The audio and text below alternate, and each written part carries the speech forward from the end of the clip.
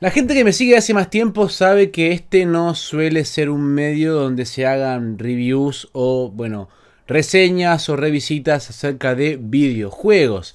Pero en este caso creo, bueno, hacer una excepción y sí darle un tiempo y un espacio a este juego que como les puse en el título seguramente saque lo mejor de ustedes como gamers. Así que muchachos, los invito a que se pongan cómodos y espero que este video un poco diferente les guste.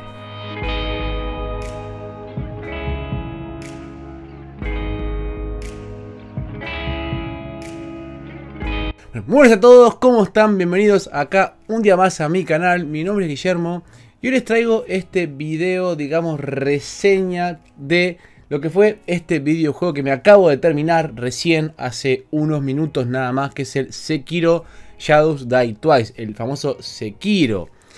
Este juego tiene muchas cosas que me gustaron, tengo varias cosas para comentar acerca de él, es otro video off topic que hago. Como todos los videos off topic que he hecho hasta ahora, seguramente nadie lo vea y sea un video que a muy poca gente le interese.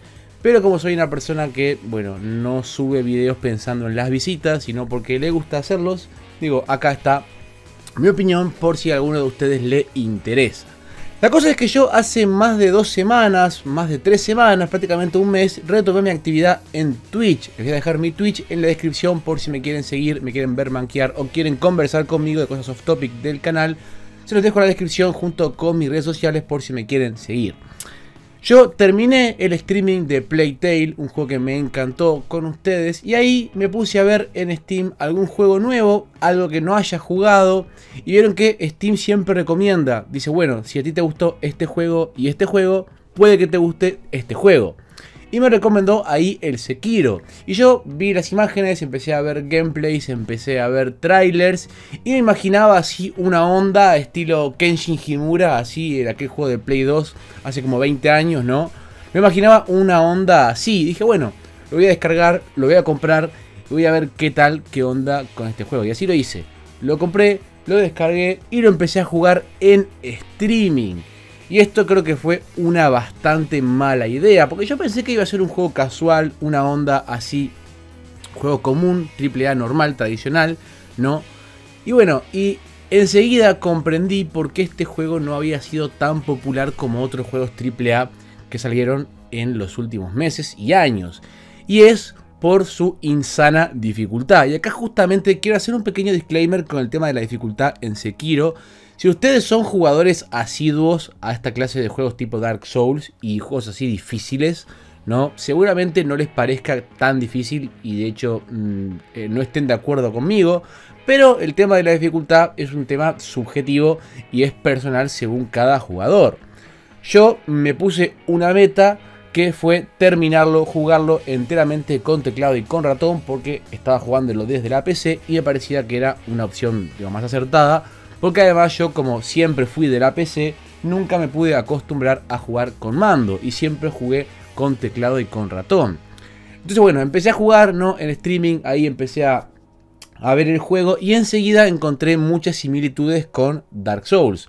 No estoy del todo seguro ahora mismo, después voy a chequear, pero me parece que Sekiro es de los creadores de Dark Souls, porque bueno, es muy parecido en muchas cosas, desde la interfaz, el menú, el modo de jugar, digo, todo es muy parecido. El método para guardar partida así en los totem cada tanto, igual que en Dark Souls, esto es lo mismo. Cuando te morís o cuando descansás para recuperar la HP y las pociones, los bichos reviven, igual que en Dark Souls. Cuando te morís tenés que volver a matar a todos los bichos y perdés parte del oro, igual que en Dark Souls. Digo, el hecho, es un juego con muchas mecánicas similares. Los jefes los jefazos que hay que son realmente con una dificultad muy, muy, muy, muy compleja, incluso para gente que está acostumbrada a jugar estos juegos. Obviamente que hay guías en YouTube y hay gente que se pasa estos juegos y los hace ver fáciles, que se lo pasan como si nada, casi sin morirse y sin recibir daño, producto de que ya tienen una práctica que la mayoría de jugadores como yo no tienen. El hecho, muchachos, es que si ustedes no están acostumbrados a jugar esta clase de juegos, nunca jugaron ningún Dark Souls y no están familiarizados con esta clase de juegos, el 99% de la gente que se meta a jugar Sekiro se va a morir una y otra y otra y otra vez, a cada rato. Y cuando piensa que por fin le está agarrando la mano, va a llegar al jefe y lo van a masacrar una y otra y otra y otra vez. Entonces esto puede ser un poco frustrante y, un poco desmotivante para la gente que es ansiosa como yo y que se quiere terminar el juego lo antes posible. Yo les digo, he jugado juegos complicados como Tomb Raider en modo survival, he jugado al Witcher también en la máxima dificultad y les puedo decir que es muy difícil, o sea, muy difícil jugarlo en esa dificultad porque realmente te hacen mucho daño. No puedes meditar, digo, Witcher 3 también si lo jugás en la máxima dificultad es todo un reto, es muy difícil. Y digo, me gusta que el juego sea difícil y que tenga un grado de dificultad, digamos que sea un reto. El Hitman también, si lo jugás en máxima dificultad, no tenés mira, tenés que disparar a ojo. O sea, sé lo que les digo cuando les digo que Sekiro es un juego difícil, muy a pesar de que haya gente que no crea que, que sea un juego complicado. Sekiro es un juego difícil y si ustedes no están acostumbrados los van a matar un montón de veces. Eso en primer lugar. Algunas diferencias con Dark Souls. Bueno, no quiero hacer este video en plan diferencias entre Sekiro y Dark Souls, pero sí, o sea, cito a Dark Souls a cada rato porque la verdad es que me parece un juego bastante similar. Algunas diferencias con Dark Souls. Bueno, primero que nada, el tema de la presentación de la historia y de la trama. En Dark Souls, cuando empieza el juego, tú sos un ser más del montón que está ahí en ese mundo caótico, apocalíptico, que no te saben explicar muy bien qué pasa. Y vos estás como perdido, ¿no? Vas como encontrando lentamente vestigios de cosas que te van contando la historia y vos en tu cabeza te vas armando como un rompecabezas, ¿no? De la historia, pero todo te lo van tirando así a cuentagotas. En Sekiro esto no es así, en Sekiro ya apenas empieza, sabemos quiénes somos, cuál es nuestro rol. Digo, yo no voy a sacar ningún spoiler de la trama, pero digo, ya, ya sabemos qué tenemos que hacer. Nuestro fin, digo, sabemos ahí, nos cuentan ya un montón de cosas. Hay personajes secundarios, digo, ya de entrada, que nos van indicando cuál es nuestra función en ese mundo. Digo, la ambientación también es en Japón, ahí digo, está, está muy bien ambientado, la música es increíble. Pero digo, ya tenemos ahí una diferencia importante con Dark Souls. Otra diferencia con Dark Souls es que en, Dark Souls tú tenés un equipo, un inventario con una armadura, un arma que te puedes cambiar, que puedes encantar, que puedes ir modificando eh, a medida que vas avanzando en el juego. Y en Sekiro no, en Sekiro tenemos lo que es eh, el brazo ortopédico que vamos a ir mejorando con los ítems que vamos encontrando, con las herramientas que vamos a ir poniéndole mejoras y demás. Y bueno, tenemos algunos otros ítems que se usan para encantar el arma o para tal cosa en específico que nos vamos encontrando en el camino. Pero no tenemos un equipamiento que podamos ir cambiando mientras avanzamos. Tampoco tenemos, como en Dark Souls, la posibilidad de elegir un tipo de raza o de clase o lo que sea. Somos un samurái que va por la vida matando y ya está. Esto no quiere decir que el juego sea más fácil. O sea, en Sekiro tenemos algunas mecánicas distintas que hay al momento de jugar que no están tan presentes en Dark Souls. No tenemos un maná para tirar hechizos, sino que tenemos una barra, digamos, de posición, le llaman barra de, de como la barra de postura, ¿no? Que si esta se llena al máximo, perdemos el equilibrio, quedamos estuneados y bueno, eh, se aplica tanto como para el enemigo como para ti. E incluso a veces pasa que más vale jugar con la barrita de postura del enemigo que estar pegándole directamente en el HP e intentar matarlo de esa manera. Pero bueno, son ahí, digamos, diferencias en el combate que mm, son pequeñas pero que cambian, digamos, bastante la jugabilidad. En Sekiro tenemos también la opción de trepar los muros con una liana que nos vamos colgando y nos vamos trepando. Hay un poco más de parkour, cosa que en Dark Souls no hay tanto. Pero bueno, digamos, el sistema de combate es bastante distinto. Pero en líneas generales es un juego que se puede comparar con Dark Souls bastante, sobre todo por el sistema este de estar guardando en los totems, del tema del viaje rápido entre totems y demás. En este punto es bastante similar. También es bastante frustrante para mucha gente, ¿no? Y da mucha ansiedad justamente el hecho de que cuando te matan y tú revivís, otra vez tenés que matar a todos los bichos que mataste antes antes de llegar a ese mini boss o a ese boss que te mató. Y esto es realmente bastante, bastante frustrante. Y, te pasa mucho, te pasa mucho en Sekiro que te matan y otra vez y qué flojera matar a todos y esto realmente supone eh, eh, un reto, no porque sabes que tenés que usar el sigilo, intentar no morir, intentar pasar desapercibido para que no te vean y bueno, pasar eh, más fácil hasta el boss. Pero bueno, en realidad también tiene algo positivo esto que los bichos revivan y es que tú podés, digamos, farmear experiencia y oro a discreción. Por ejemplo, encontrás un spot de bichos una vez que tú dominas las técnicas de matar por la espalda y del sigilo, bueno, descansás en el tótem una y otra vez y puedes limpiar la misma zona de, de bichos una y otra y otra y otra vez para farmear a discreción experiencia y oro e ítems específicos. También tenés unos ítems pequeños que te van cayendo en Sekiro que no te dicen específicamente para qué son ni en qué casos debes usarlos. Te dicen ahí una pequeña descripción del ítem, de lo que es o para qué podría servir, pero tú por ti mismo tenés que ir descubriendo para qué clase de jefe o para qué clase de, de, bicho que vayas a matar, tenés que usar ese ítem específicamente. Y eso te ayuda un poco como a ir administrándote los ítems, ¿no? Para saber más o menos en qué ocasión usar tal o cual ítem.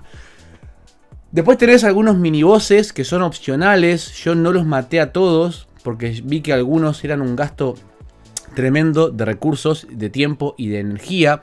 A todo esto, el juego me llevó más o menos unas 55, 57 horas por ahí terminarlo. Casi 60 horas, o sea, me llevó mucho más tiempo que el tiempo promedio que le toma a una persona que ya está acostumbrada eh, a jugar este juego. Yo me estoy fijando en internet y más o menos una persona normal ya asidua a estos juegos tarda unas 35 horas, entre 35 y 40 horas en terminarlo. Y a mí me tomó casi 60, o sea, muchas más horas de lo que le toma a alguien terminarse este juego. Así que bueno, acá les repito una vez más esto, ¿no? El tema de la dificultad es subjetivo, hay gente que le puede llevar más o menos tiempo, hay gente que descubre más cosas, hay gente que prefiere hacer todo y no dejar absolutamente nada por descubrir y por hacer. Y también esto repercute directamente en la cantidad de horas jugadas. Yo me dejé algunas cosas sin hacer, yo noté que habían cosas que uno podía dejar de lado y no hacer y que de repente no le afectaban tanto la historia o la trama del juego. Por ejemplo, acá hago un mínimo spoiler, que en realidad no es spoiler, pero la gente que lo jugó lo entenderá. Están los decapitados, que son ahí unos eh, semi-bosses, unos semi-jefes, que son extremadamente duros de matar, tienen muchísima HP. Estás mucho tiempo para matarlos y para matarlos tenés que gastarte un ítem es una especie de polvo, un encantamiento para el arma, para hacer más daño y así matarlo más rápido. ¿No? Y claro, y cuando tú matas a este decapitado, no te cae el ítem que te tiran los mini jefes comunes. Cada vez que tú matas a un mini jefe, no a un jefe, sino a un mini jefe, te cae un ítem que cuando juntas cuatro de esos ítems, o sea, cada cuatro mini jefes, tenés la posibilidad de aumentarte un poco eh, tu vida máxima. Entonces, claro, decís, bueno, los mini jefes valen la pena, porque cada vez que mato uno, me cae este ítem y esto me ayuda a aumentar mi vida máxima y esto me ayuda a, cuando peleo contra un jefe de los jefes de, los más poderosos, aguanto un poco más, tengo más HP y bueno, tengo ahí un poco más de polivalencia y tengo más posibilidades de sobrevivir si el boss me pega un golpe mortal. Cuando me pegan, bueno, tengo la posibilidad de curarme. Si tienes poca HP, algunos bosses te pueden matar de una. Por eso es importante matar a los mini jefes para ir aumentando tu vida máxima. Sin embargo, los decapitados no te tiran este ítem que es tan valioso, ¿no? La cuenta de oración, que es para aumentar tu vida máxima. Entonces, bueno, ¿para qué matar a los decapitados y gastar recursos si en realidad el decapitado no te va a tirar nada que sea realmente necesario? ¿Entienden? Acá en Sekiro la cosa funciona así. Cada vez que tú matas un mini jefe te cae una cuenta de oración y cada cuatro aumentas tu salud y cada vez que matas a un jefe de los poderosos, te dan un recuerdo de combate. Y eso se usa para aumentar tu poder de ataque. Y así es un poco, eh, digamos, lo básico para, para poder ir evolucionando en cuanto a el poder y en cuanto a la HP que tenés. Después tenés ítems que te dan ahí un poco más de daño, un poco más de aguante, o sea, como un buff temporal que te lo vas consumiendo, ítems consumibles que te vas encontrando por el juego. Y además también otros ítems que se usan, por ejemplo, para, yo qué sé, para dejar un tiempo estuneado o un tiempo ahí distraído al enemigo. Después tenés algunos ítems pequeños también que te ayudan a aumentar o a mejorar la eficiencia de los ataques con la prótesis, porque tenés una prótesis en el brazo que tiene diferentes herramientas que tú vas cambiando según el tipo de jefe. Y todo esto hace que el combate sea muy rico, que sea muy complejo y que tengas que ir dominándolo por completo de a poquito para poder ir avanzando a través del juego. Llega un punto igual que te sentís que ya dominás la prótesis, que dominás, digamos, los desvíos de los golpes, que dominás de todo, pero igual los bosses tienen una dificultad que es, es o sea, tremenda. Hay algunos bosses que no quiero hacer spoiler, pero que realmente te cuesta mucho, mucho, mucho matar. Y si no, caes en la bajeza de intentar buguearlos o que se caigan por un precipicio o cosas así que la gente hace, realmente puede ser muy, muy dificultoso.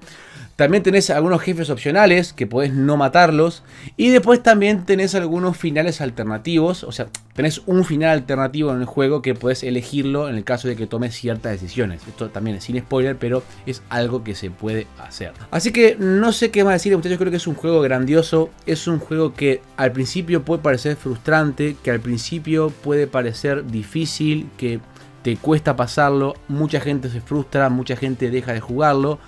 Pero sí les puedo decir que cada mini jefe que matan es un entrenamiento que les va enseñando a dominar diferentes técnicas y cada jefe que ustedes van matando es un jefe que les permite a ustedes dominar cierta técnica para ir avanzando. Y obviamente cada jefe va siendo cada vez más y más complejo y les va a demandar usar diferentes técnicas aprendidas anteriormente, así como también diferentes herramientas de la prótesis. Algunos jefes son inmunes a algunas herramientas y tienen que ir cambiándolas. Digo, eso es cuestión de ir probando. Hay un montón de guías en internet que pueden seguir y pueden, digamos, facilitarles un poco la, la experiencia, pero sí les puedo asegurar que si nunca jugaron Sekiro, por más que sigan las guías al pie de la letra, les va a costar y va a suponer una experiencia muy, pero muy compleja. Así que muchachos, eso es todo, esto es un poco mi, experiencia en Sekiro, un juego grandioso, un juego que te termina gustando, te terminas encariñando con el entorno, con los paisajes, con la música, con tu personaje. La verdad es una trama rica, es una trama entretenida, es una linda historia, es un juego que no tiene nada tampoco así muy excesivamente fantasioso, está dado en un contexto ahí de, Japón antiguo, que es un samurái ahí. La verdad es un juego que me ha encantado y que recomiendo comprar y jugar a aquellas personas que quieran un juego difícil. Y acá repito y reitero, sin sonar reiterativo, ¿no? Hay gente que le puede parecer fácil, hay gente que puede pensar, ¿no? Que, que, es fácil o que se pasa rápido, pero déjenme decirles que para el jugador average, para el gamer promedio, Sekiro Shadow Die Twice supone un gran reto que la verdad les recomiendo mucho eh, intentar pasar porque la satisfacción que te da cada vez que matas a un boss, a un jefe con esa dificultad tan legendaria, ¿no? Sentís como, no sé, sentís como una sensación muy buena, como que te sentís pleno y realizado, como decir, bueno, al fin pude matar a este jefe tan, tan difícil. Incluso hay una opción para los más, más masoquistas que podés activar una campana en una parte dada del juego para incrementar todavía más la dificultad. Yo esa campana no la activé, ya les digo, no activé la campana, así que no lo jugué tampoco en la máxima dificultad. Pero bueno, quizás si lo vuelvo a jugar ya con algo de práctica puede que lo intente. Y bueno gente, hasta acá llegué, no quería hacer este video off topic más largo porque encima que no lo va a ver nadie, tampoco lo quiero extender más para que no me flojera verlo. Solamente me resta pedir perdón, pedir disculpas a la gente que me sigue en Twitch y que esperaba que yo transmitiera más de este juego. Realmente me da un poco de ansiedad no ver eh, indicaciones de ustedes que me estaban intentando ayudar y yo ahí sin poder pasarlo. Entonces como que, como que me genera un poco como de, como de incomodidad, incluso tipo estar ahí tipo, dándolo todo, súper concentrado y bueno, y perder y perder y perder y perder y que ustedes me estén ahí diciendo cómo pasarlo y yo, a pesar de poder leerlos, seguir frustrado porque no podía avanzar. Una vez que corté con la transmisión, me senté más tranquilo a, estar enfocado 100% en el juego y no que se veía fixelada la transmisión, o que se veía mal, o que se trancaba, o que no sé qué, sino que me enfocaba más en el juego. Y creo que de esa manera pude, digamos, pasarlo con eh, menos dificultad y poder tener una mejor experiencia en el juego. Así que gente, hasta acá llegué. Gracias por quedarse hasta el final del video. Si el video les gustó, apóyenlo con un me gusta para que yo siga haciendo más videos off topic cada tanto. Suscríbanse para ver más videos así cada tanto. Y bueno, agradecer como siempre a la gente que se queda hasta el final. Que me sigan en redes sociales para más contacto directo y para poder también dejarme todas sus preguntas. Y muchachos, yo me despido de todos ustedes y los veo a todos. Hasta la próxima.